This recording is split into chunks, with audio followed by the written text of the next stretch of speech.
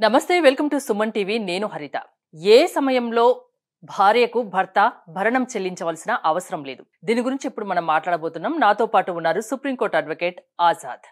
ఆజాద్ గారు నమస్తే అండి. నమస్తే మేడం.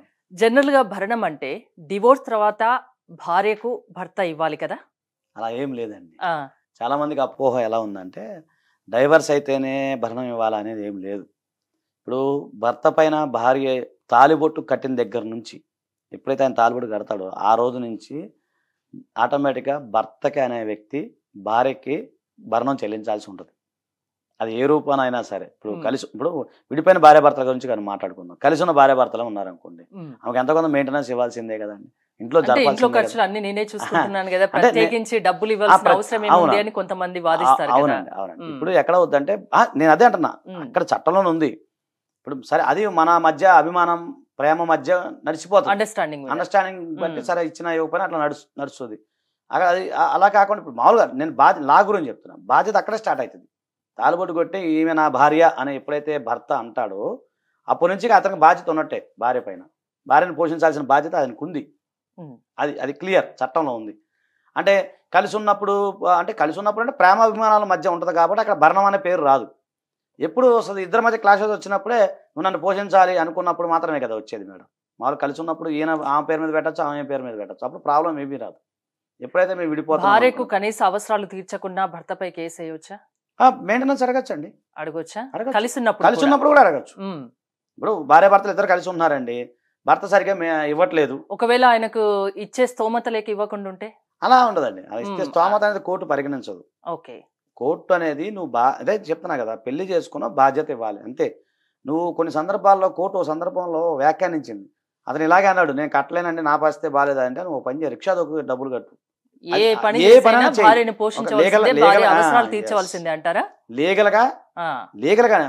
ఏ పనైనా ఆమెకి నువ్వు మెయింటెనెన్స్ చెల్లించాల్సిందే. చాలా జడ్జిమెంట్స్ ఉన్నాయి. అయితే ఈ మధ్య కొంచెం మార్పులు చేర్పులు జరుగుతున్నాయి. జడ్జిమెంట్స్లో చాలా మార్పులు వస్తూ ఉన్నాయి. అలాగే కొంత కొంత అంటే ఈ జడ్జిమెంట్స్లో మార్పులు కానీ కేసుల్లో కూడా వింత వింత పోకళ్ళు రావటం కానీ దీని ద్వారా ఏమైందంటే కొంత కొన్ని సందర్భాల్లో భార్యకి మెయింటెనెన్స్ చెల్లించాల్సిన అవసరం లేదు. ఎందుకంటే పంతొమ్మిది వందల యాభై ఐదు అంటే మనం మనకి మనకేంటంటే హిందూ మ్యారేజ్ యాక్ట్ అప్పుడు అప్పుడు ఏ- ఏర్పాటు చేయబడింది కాబట్టి ఆ సందర్భంలో అప్పుడు ఇంత తెలివితేటలు లేవు ప్రజలకి. అప్పుడు మహిళలు అంటే అక్కడ జాబులు చేయటం అలాంటివి చాలా తక్కువ. అప్పుడు ఇంత లేదు కదండి. బయటకు వచ్చి నాగరికత అంత డెవలప్ కాలేదు. ప్రజలు కూడా ఉండేది. అప్పుడు ఏంటంటే సచ్చినట్టు భర్త మాత్రం భార్యను పోషించాల్సి వచ్చింది దీని అనేది అప్పుడు డెబ్బై సంవత్సరాల క్రితం మాట్లాడుతున్నాను ఈ రోజు నాకు సంబంధం లేదు. సో ఈ రోజు కాలక్రమేణా ఏమైంది? ఒక మహిళ కూడా బయటకు వచ్చి జాబులు చేస్తున్నారు కంపెనీలు పెడుతున్నారు. బాగా ఆర్థికంగా మహిళలతో పురుషులతో పాటు సమానంగా ఉన్నారు. మామూలుగా. నేను? కాబట్టి ఏంటంటే ఇప్పుడు కొంత మార్పులు చేర్పులు జరిగినాయి.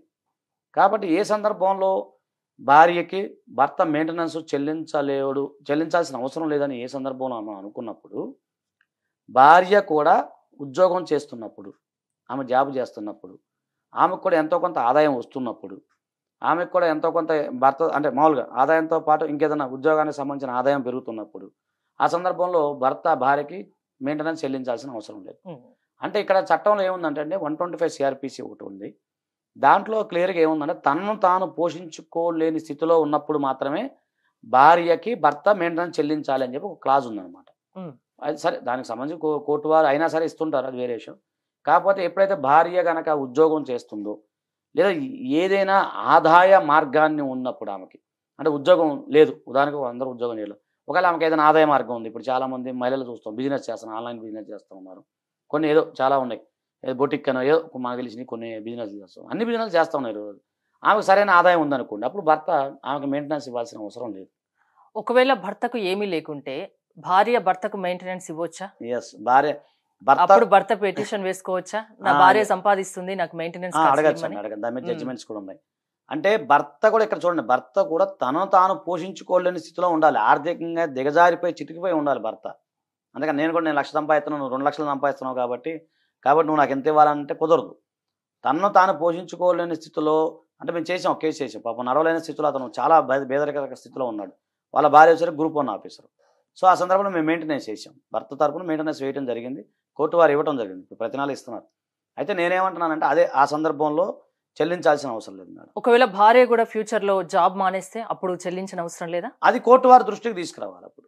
ఆయన ఇట్లా నా జాబ్ పోయింది నేను కూడా ఆర్థిక స్థితి బాగాలేదండి అని అనుకున్నప్పుడు కోర్టు వారు విచారించి అప్పుడు స్టాప్ చేసే అవకాశం ఉంటుంది. కానీ ఇతను మెయింటెనెన్స్ కోసం ఆమె జాబ్ చేయ మానేయమని ఎవరు చెప్పరు కదా మేడం. అవును. ఇంకోటి కొన్ని చూస్తుంటాం. ఒకేసారి సెటిల్మెంట్స్ చేసుకుంటూ ఉంటారు. ఆ సెటిల్మెంట్ చేసుకున్నాక కూడా ఫ్యూచర్లో అంటే మాజీ భార్య మెయింటెనెన్స్ వెయ్యొచ్చా? వేసే అవకాశం ఉంటుందా? లేదండి. దీన్ని ఈ పర్మనెంట్ అల్యూమోని అంటాము. జనరల్గా ఏంటంటే భార్య కనుక ఒక భర్తతో ఇద్దరి మధ్య మనస్పర్ధలు వచ్చినాయి. దాన్ని పర్మనెంట్ సెటిల్మెంట్ చేసుకున్నారనుకోండి దాంట్లో మేము రాస్తాం. మామూలుగా ఏంటంటే ఒక ఎక్స్పీరియన్స్ అడ్వకేట్గా నేను చెప్తున్నాను. జనరల్గా ఏమవుద్దంటే ఇప్పుడు ఉదాహరణకి భార్య ఉంది. నాకు ఇరవై లక్షలు ఇవ్వమని చెప్పాను అనుకుందాం ఊరిని ఎగ్జాంపుల్ చెప్తున్నాను అతను సరే అని చెప్పి ఒప్పుకున్నాడు అనుకోండి. అందులో మేము ఒక ఎంఓయూ రాసుకుంటాం. మ్యూచువల్ అండర్స్టాండింగ్లో రాస్తాం. రాసినప్పుడు దాంట్లో క్లియర్గా ఏం చెప్తాము అంటే నువ్వు అంటే భవిష్యత్తులో ఇద్దరు కానీ ఒకరి మీద ఒకరు కేసులు వేసుకున్నాం కానీ అలాగే రేపు భార్య భర్త పైన మెయింటెనెన్స్ కేసులు కానీ ఇక మరే ఇతర కేసులు ఉంటాయి కదా మేడం. వేరే ఆస్తికి సంబంధించినవి ఇంకేదైనా కానీ అలాంటివి వేయకూడదని చెప్పి మేము రాసుకొని అది కోర్టు దృష్టిలో మేము పెడతాం. పెట్టినప్పుడు కోర్టు వారు కూడా రాసుకుంటారు. అదే డిగ్రీ ఇస్తారు. భవిష్యత్తులో ఎలాంటి కేసులు వేసుకోకూడదని చెప్పేసి. అలా ఉండదండి. ఇక ఇంకొకపోతే మనం భార్యకి మళ్ళీ ఇంకే సందర్భంలో కూడా మెయింటెనెన్స్ రాదు అంటే వ్యభిచారం. భార్య కనుక వ్యభిచారం చేసింది అనుకోండి ఒక ఇప్పుడు ఒక ఒక భార్య వ్యభిచారం చేసింది. వ్యభిచారం చేసే సందర్భంలో భర్తను కాదని అంటే ఇప్పుడు లేదండి ఫోర్ నైన్టీ సెవెన్ అది ఐపీసీ వెళ్ళిపోయింది లేండి అది తీసేశారు అది ఇప్పుడు లేదు. భార్య కానీ భర్త కానీ అడల్టరీ గ్రౌండ్ అనేది లేదు. అడల్టరీ అనేది దాని మీద శిక్ష అలాంటిది ఏం లేదు. ఒకవేళ భార్య అడల్టరీ చేస్తే దాని మీద డైవర్స్ కే డైవర్స్ వేసుకోవచ్చు ఒకవేళ భార్య కనుక వ్యభిచారం దాంట్లో అంటే ఆమె వ్యభిచారం చేస్తూ వేరే వాళ్ళతో అక్రమ సంబంధం పెట్టుకుంది అనుకోండి ఆ సందర్భంలో గనక భర్త గనక ఆ ఎవిడెన్స్ కనుక ఉన్నట్లయితే ఆ సందర్భంలో కూడా ఆమెకి మెయింటెనెన్స్ రాదు. ఓకే. మెయింటెనెన్స్ ఆ టైంలో ఇవ్వడానికి లేదు. మరి పిల్లలు ఉంటే ఏంటి? వాళ్ళ ఫ్యూచర్ ఏంటి? ఎస్ పిల్లలు ఉంటే పిల్లలకి ఇవ్వాల్సి వస్తుందండి. పిల్లల ఇంకోటి పిల్లలకు కూడా ఏ సందర్భంలో ఎవరు అంటే అదే చెప్తున్నాను. మైనర్ బాలికలు ఎవరైతే ఉన్నారో వారు మేజర్ అయితే మెయింటెనెన్స్ రాదు వాళ్ళకి. అబ్బాయి విషయంలో అతను మేజర్ అయ్యే వరకు ఫాదర్ చూసుకోవాలి చూసుకోవాలి. ఉమ్, కొన్ని సందర్భాల్లో ఇద్దరు కూడా చూసుకోవాల్సి వస్తుంది. ఇద్దరి మీద ఆధారపడి ఉంటుంది. వాళ్ళ వాళ్ళ ఆర్థిక స్థితిని బట్టి ఉంటుంది కేసుని బట్టి ఉంటుంది. ఇప్పుడు ఉదాహరణకి ఎవరి దగ్గర ఉండాలన్నది పిల్లలకు పిల్లల మీదే ఆధారపడి ఉంటుందా? కోటి పరి- పరిగణలోకి తీసుకుంటుందా? ఎస్ అండి. ఐదు సంవత్సరాల వరకు అయితే కంపల్సరీ తల్లి దగ్గర ఉండాలి. తర్వాత వీళ్ళు గార్డెన్ ఓపీ వేస్తారు. వేసినప్పుడు కోర్టు వారు విచారించి ఎవరి దగ్గర ఉండాలి అని ఆలోచించి కోర్టు వారు ఇస్తారనమాట అదే కోర్టు వారు ఎంత ఎప్పుడంటే ఎప్పుడు కూడా పిల్లల యొక్క సంక్షేమాన్ని దృష్టిలో పెట్టుకుంటారు. ఉదా- ఉదాహరణకి భర్త ఆర్థికంగా స్థితిగా ఉండి మంచి పొజిషన్లో ఉండి భార్య ఆర్థికంగా స్థితిగా లేనప్పుడు ఆటోమేటిక్గా ఏమవుతుందంటే భర్త దగ్గర ఉండమని చెప్తారు. ఎందుకంటే ఆయన సరైన మంచి ఫుడ్ కానీ వాళ్ళకి ఎడ్యుకేషన్ కానీ ఇవ్వగలుగుతాడు కాబట్టి. సో ఆ సందర్భంలో ఉంటుందన్నమాట. తర్వాత పిల్లల విషయానికి వచ్చేసరికి ఒక బాబు ఉన్నాడు అనుకోండి. ఆ బాబు నైన్టీన్ ఇయర్స్ దాటితే అతనికి మెయింటెనెన్స్ రాదు.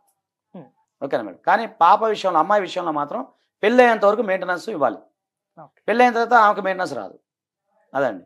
తర్వాత మళ్ళీ మనం మనం మాట్లాడుకుందాం. మళ్ళీ భార్య కనుక వేరే వాళ్ళతో పెళ్ళి చేసుకుంది అనుకోండి. ఆమెకు మెయింటెనెన్స్ రాదు.